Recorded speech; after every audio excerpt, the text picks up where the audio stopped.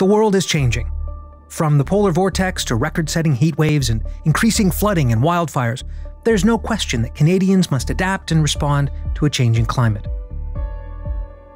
Je crois que parce qu'on commence à en sentir les effets euh, dans nos vies euh, au niveau des, des, impacts des changements climatiques, parce que euh, certains des, des événements s'intensifient. À cause de ça, euh, la nécessité d'agir euh, se fait sentir.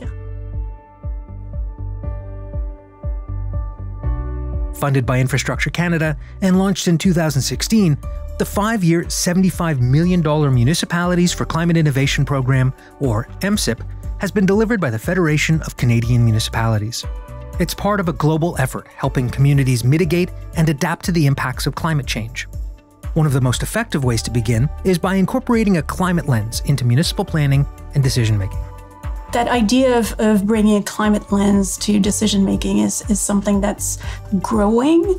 Some communities are, are doing it systematically uh, now, uh, and more and more of them are, are wanting to take that approach.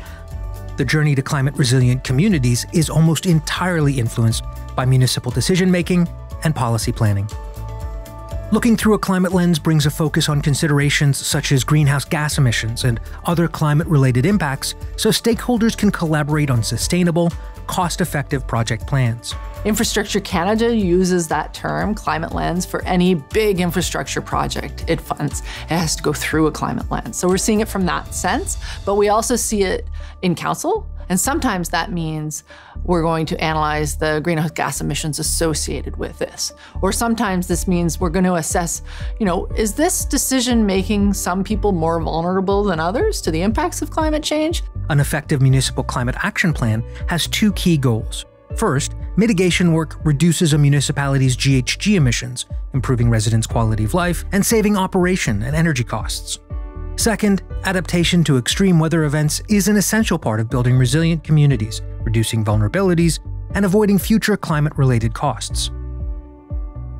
Adaptation is nothing new for many communities. So, stormwater management, for example, it's something that communities have done for centuries in Canada. Um, they just we haven't labeled it as an adaptive action. Municipalities are where the rubber hits the road, as they say, and that is certainly something that when it comes to climate change is how do we ensure that our municipality is as resilient as possible. With so many essential services provided to residents, municipalities directly control or influence over 50% of GHG emissions in Canada. The most equitable greenhouse gas reductions are going to come from those reductions in buildings and transportation and the fuel switching and electrification of buildings and transportation. That's all local, and that's where that happens. Measuring and responding to local impacts of climate change means municipalities need to look beyond basic cost value economic assessment. A so called triple bottom line also includes social and environmental outcomes. We focus a lot on the economic and the social, and and there you have the environmental benefits because when you're focusing on those two, you also then are generally getting the environmental benefits. Once residents and council started seeing like, oh, our neighbors were flooded, 2,300 homes, you know, were flooded and things like that, it really get people talking. It's going to happen in our day-to-day lives, and so local government is best equipped to work with civil society uh, to to tackle that. They have the most to lose. Um, they are the closest to the population. They've got a culture of learning from each other in collaboration. There's a wealth of expertise on local climate action in Canada, and there are many opportunities for collaboration with provincial and federal partners, similarly sized cities and regions, and regional advisors on climate action. Notre rôle en tant que conseillers régionaux, c'est un peu de pallier à ce manque de ressources-là euh, en, en, en fournissant au moins des outils qui peuvent être utilisés par les municipalités. This video series explores the tools, resources, case studies, partnerships, and funding available to Canadian municipalities for planning from resilience through implementation. So, FCM is the voice of municipal government in Canada. In that context, we work on policy and government relations work to influence federal government decisions. But we also deliver programs.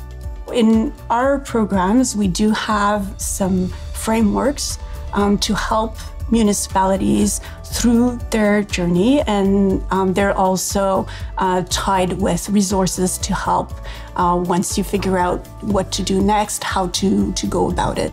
Throughout each video in the Climate in Focus series, look for this icon for resources that support the action steps needed on the journey to a climate resilient community. There's a future city that may indeed be led by my children, others' children, grandchildren.